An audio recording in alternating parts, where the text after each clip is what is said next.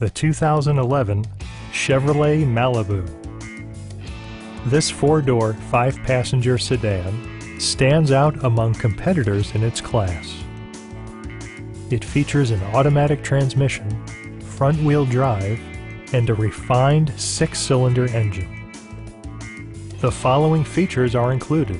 Heated seats, fully automatic headlights, and remote keyless entry.